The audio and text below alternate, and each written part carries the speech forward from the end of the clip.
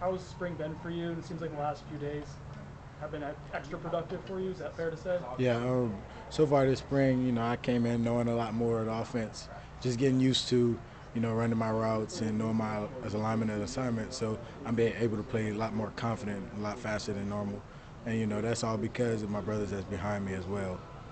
You mentioned you mentioned the guys behind you, like the, the running back room just seems so close, man. I guess what goes into it? Why, why are you guys so tight together?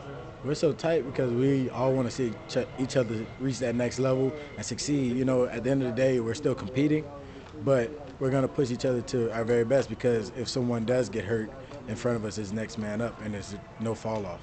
What do you feel like you've gotten better sponge in that sense in your game since last year?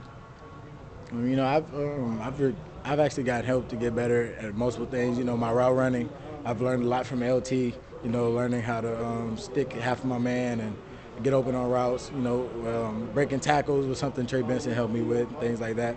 You know, Rodney helped me a lot with my speed and things like that. Uh, and I, uh, you know, he's another person that just came in. You know, he's been uh, he's been you know uh, supporting me along the way because he knows like how hard I work and things like that. So just the, all those aspects um, I've improved on. Uh, who would you say is like?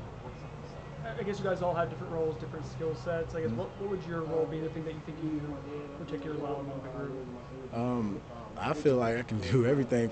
Um, you know, our our main thing is to be versatile backs and be able to do anything if needed. You know, and uh, just be ready for our moment seems like whenever you do something well, the response from teammates is extraordinary. A lot of guys are happy. I guess what does that mean to you to, to see guys? That's gone back since last year too, you came back from the injury. But to see that continue, what, what does that mean to you? It, it, means a lot. It just shows that they actually care about me and uh, support everything that I'm doing and uh, everybody else on the team is doing. Just showing that you know brotherhood that we've continued to make throughout the season. Thanks, CJ. Thank you. Thanks, CJ.